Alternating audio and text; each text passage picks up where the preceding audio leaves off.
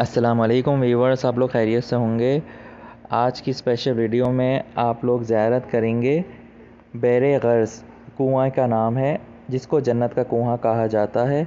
और हुजूर अकरम वसल्लम ने इरशाद किया था अपने साहब कराम से कि उनके विसाल के बाद इस कुएँ से उनको गसल दिया जाए। तो बहुत ही इसको शर्फ हासिल है, इसलिए इसको जन्नत का कुआँ कहा जाता है।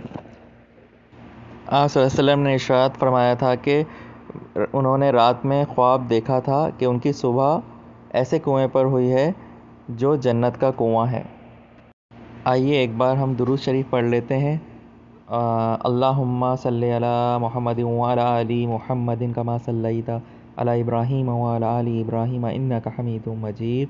अल्लाहुम्मा बारिक अला मुहम्मद अली मुहम्मदिन कमा बारकता अला इब्राहीम वाला आली इब्राहीम इन्नका हमीद मजीद और नाजरीन एक और शर्फ जो हासिल है हमारे प्यारे नबी सल्लल्लाहु अलैहि वसल्लम साहबा कराम के साथ यहाँ पर तशरीफ़ लाए थे और अपना लवाब इसके अंदर डाला था और शहद भी इसमें उंडेला था ताकि पानी मीठा हो सके तो ये बहुत बड़ा शर्फ हासिल है जन्नत का कुआँ है तो माशाल्लाह हम लोगों को मौका मिला बाहर बाहर से देखने का अल्लाह ताला से दुआ है।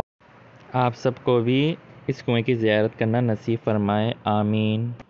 हम लोग लास्ट टाइम अगस्त में अभी ज़्यारत करने गए थे मस्जिद नबी की तो ये हमने ढूंढ कर गए तो उस वक्त ये बंद था। ये कुछ महीने पहले खुला था तामीराती काम हुआ था और ये किंग सलमान और आ, आ, प्रिंस मोहम्मद बिन सलमान की तरफ़ से ये तारीख़ी जगहों को ये रीस्टोर किया गया है रेनोवेट किया गया है। बहुत ही बड़ा कदम उठाकर हम सब मुसलमानों के लिए बहुत अच्छा कर दिया कि ताकि हम ये ज़्यारतें कर सकें।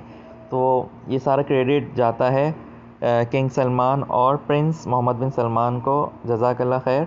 और इस कुएँ को बहुत सारे शर्फ हासिल हैं एक नहीं, बहुत सारे।